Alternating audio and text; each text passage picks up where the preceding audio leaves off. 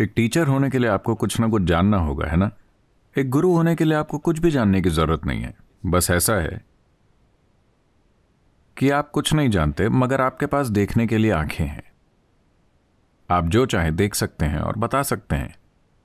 मगर एक टीचर होने के लिए आपको कुछ ना कुछ आना चाहिए। अगर आप कुछ नहीं जानते तो आप एक टीचर नहीं बन सकते, है ना? गुरु बनने के लिए आपको कुछ भी जानने की ज़रूरत नहीं है। एक खास स्तर का बोझ चाहिए, बस। आप आप किसी चीज़ के जानकार नहीं हैं। यह आसान है। टीचर होना मुश्किल है क्योंकि आपको बहुत सी चीज़ें याद रखनी पड़ती हैं। क्या हमें उसके बदले गुरु बनना चाहिए? माफ़ कीजिए? क्या हमें टीचर बनने के बदले गुरु बनना चाहिए?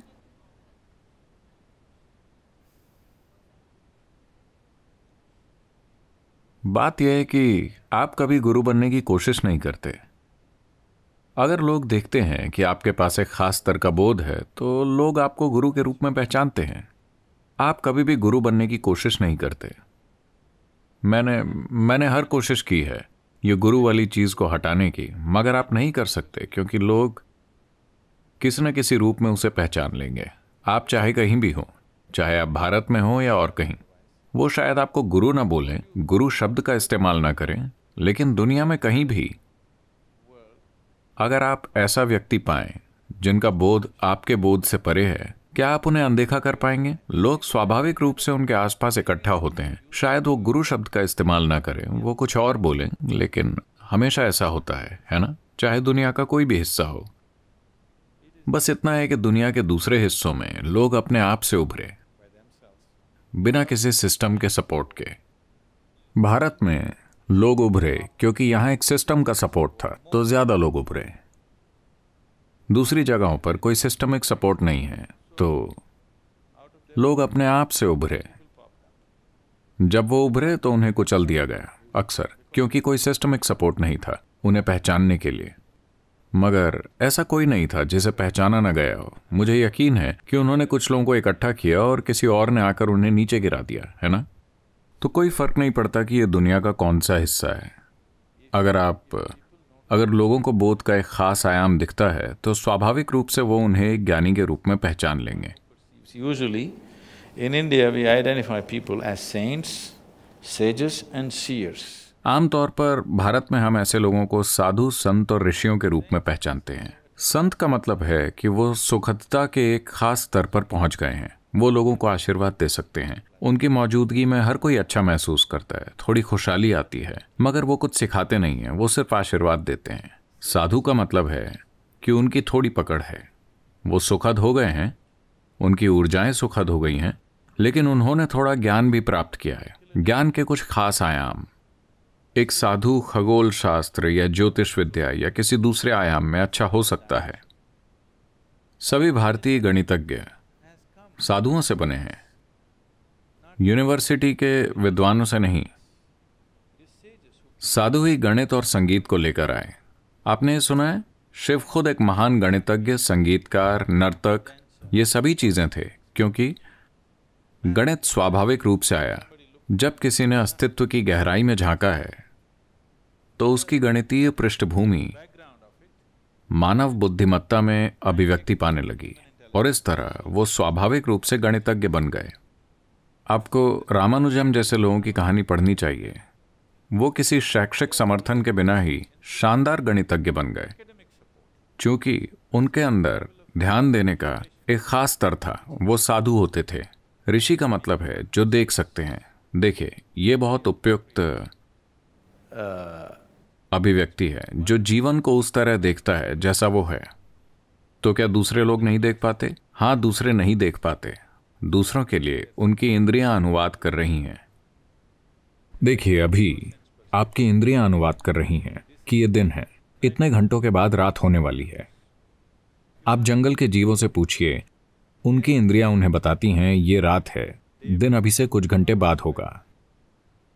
तो ये इंद्रियों की व्याख्या है जो आप जानते हैं। आप देख नहीं रहे हैं। ऋषि का मतलब है कि वो इसे वैसे ही देखते हैं, जैसा ये है।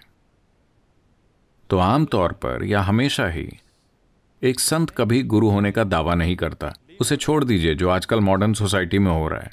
मैं कह रहा हूँ कि परंपरा में एक संत कभी गुरु होने का दावा नहीं करते थे। वो सिर्फ़ एक संत थे। वो जानते हैं कि उनका गुण है कि वो एक फूल की तरह बन गए हैं। वो आशीर्वाद दे सकते हैं, उनकी सुगंध लोगों पर असर करेगी, वो बस ऐसे हैं। साधु वो है जो हमेशा जीवन के खास आयाम की खोज करने की कोशिश में होते हैं। वो शिक्षा दे सकते हैं, वो कुछ चीज़ें कर सकते हैं। संत वो है जो सिर्फ़ देखते हैं। वो कुछ भी कर सकते हैं, इनमें से कोई भी चीज़ कर सकते हैं या कुछ न करने का चुनाव कर सकते हैं। ये उनके ऊपर है कि वो क्या करना चुनते हैं। वो ऐसी चीज़ करेंगे जो उस समय समाज में ज़रूरी है। या अगर उन्हें परवाह नहीं है तो वो उसे छोड़ देंगे और बैठ जाएँगे, लेकिन वो देखते हैं। तो एक गुरु को ज़रूर देखना चाहिए, वरना वो गुरु नहीं हो सकते। उन्हें देखने में समर्थ होना चाहिए। देखने का मतलब ये नहीं है कि आप मुझे बता सकते हैं कि मेरा भविष्य क्या है? आपके भविष्य का कोई भरोसा नहीं है, अगर आप वो सवाल पूछ रहे हैं।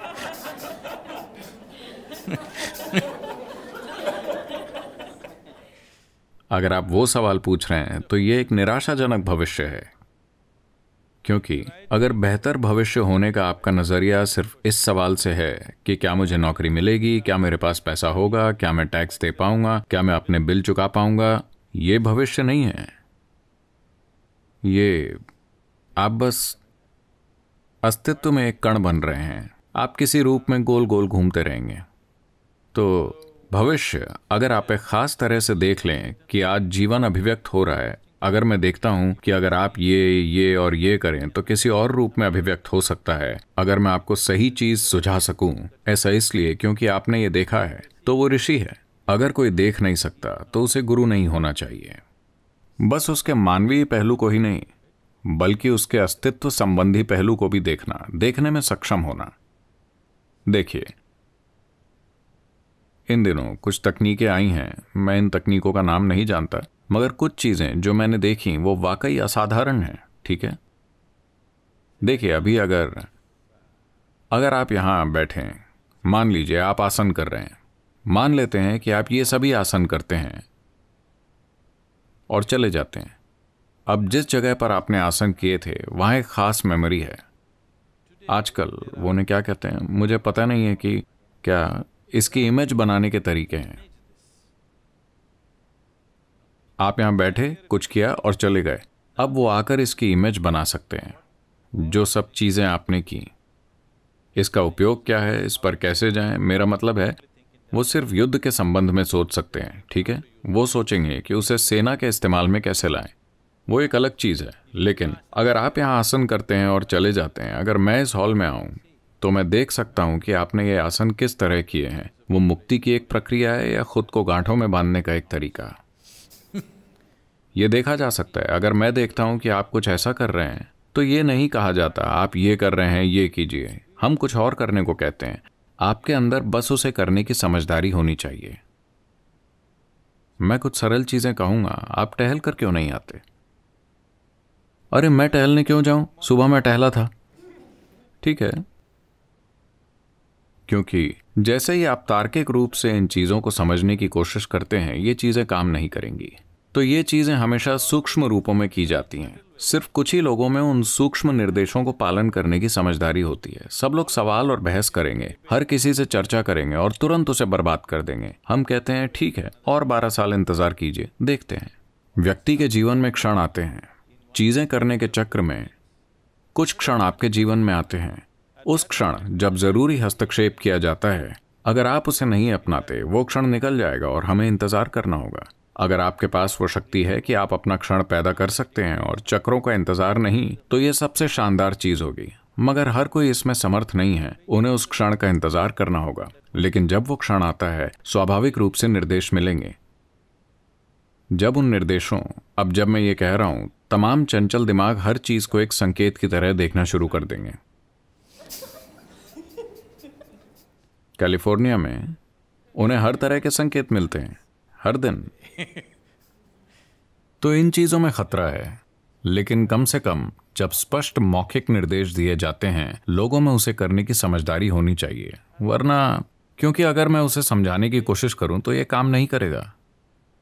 यह काम क्यों नहीं करेगा? आप ये क्यों नहीं कर सकते? आप, देखिए, ये एक सरल चीज़ है। आपके शरीर, भौतिक शरीर और आपके मन के बीच एक सूक्ष्मता है कि आपके मन में जो होता है, उसे उस तरह से नहीं समझा जा सकता जिस तरह हम शारीरिक गतिविधियों को समझते हैं, है ना? आपकी भावनाओं में जो होता है, उसे आपकी मन की गतिविधियों की तरह तार्किक रूप से नहीं समझा जा सकता, है ना? जैसे जैसे चीज़ें सूक्ष्म होती जाती हैं, वो तार्किक प्रक्रिया के लिए कम से कम उपलब्ध होती हैं। अगर हम इस तर्क को नहीं समझते अगर आप हर चीज़ को उस तरह संभालने की कोशिश करते हैं, जैसे आप भौतिक चीज़ों को संभालते हैं तो इंसान मर जाएँगे। अगर आप इंसानों को भौतिक चीज़ों की तरह संभालने की कोशिश करते हैं तो आप देखेंगे कि कोई भी आपके साथ नहीं होगा, है ना? हाँ या ना? क्या आप इंसानों को संभालने के लिए भौतिक नियमों में ढील नहीं देते? कोई दूर है, आप कहते हैं, ठीक है, एक, दो, तीन, चार चार लोग, लेकिन अगर वो आपके घर में हैं आपके परिवार की तरह तो क्या आप उनसे बातचीत के लिए भौतिक नियमों को रिलैक्स नहीं करेंगे? अगर आप नहीं करते तो आप इस धरती पर किसी इंसान को नहीं जान पाएँगे। तो इस ढील को आगे बढ़ाना होगा।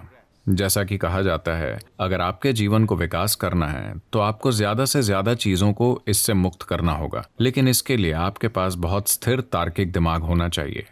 अगर आपके पास वो नहीं है तो आप भ्रम की प्रक्रियाओं में भटक जाएँगे।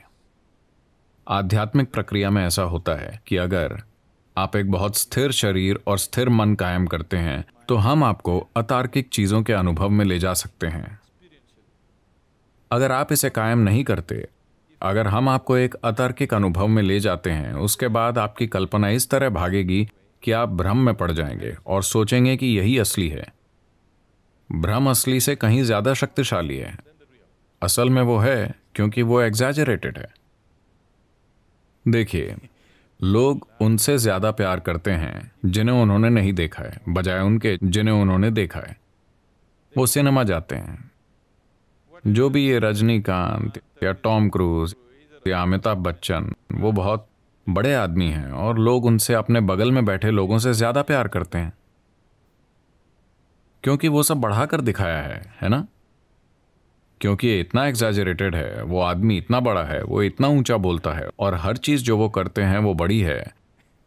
आपके बगल में बैठे लोग उतने बड़े नहीं दिखते, वो इतना ऊँचा नहीं बोल सकते, वो इतना बड़ा कुछ नहीं कर सकते। तो भ्रम एक एग्जैजरेटेड वास्तविकता है। इसके कारण वो वास्तविकता से ज़्यादा शक्तिशाली चीज़ बन सकती है। लेकिन एक बार आप उड़कर भ्रम की स्थिति में जाते हैं, आप पागलपन के खतरे पर होते हैं। आप अपने मन की मूलभूत स्थिरता को खतरे में डाल रहे हैं। अगर आप बहुत दूर चले जाते हैं तो आप वापस भी नहीं आ सकते। अगर आप यहाँ बैठकर दो मिनट के लिए कुछ मज़ेदार सपना देखकर वापस आ सकते हैं, ये अच्छा है। लेकिन आपने सपना देखना शुरू किया और आपको पता नहीं कि कहाँ रुकना है। फिर पागलपन है है ना? तो एक बहुत स्थिर शरीर और मन कायम करना एक महत्वपूर्ण हिस्सा है, अगर हम आध्यात्मिक पहलुओं की खोज करना चाहते हैं। हमें जानना चाहिए कि क्या कल्पना है और क्या नहीं। इसके लिए एक बहुत ज़्यादा फोकस, स्थिरता की ज़रूरत है। अब यह सरल चीज़ जो आप कर रहे हैं, कि जागरूकता में इस तरह जम जाते हैं और आपके पीछे आता हुआ दूसरा काल्पनिक दृश्य बनाते हैं। इसके लिए बहुत ज़्यादा मानसिक मेहनत चाहिए। आप समझ रहे हैं मैं क्या कह रहा हूँ? सिर्फ़ ये पक्का करना कि आपकी सांस सामान्य से थोड़ी गहरी हो, बहुत मानसिक मेहनत चाहिए। अगर आप अपने मन को इस तरह इस्तेमाल करते रहे तो मन बहुत स्थिर आधार बन जाता है। ये कोई काल्पनिक स्थिति नहीं है। ये अपने आप में एक ठोस आधार है।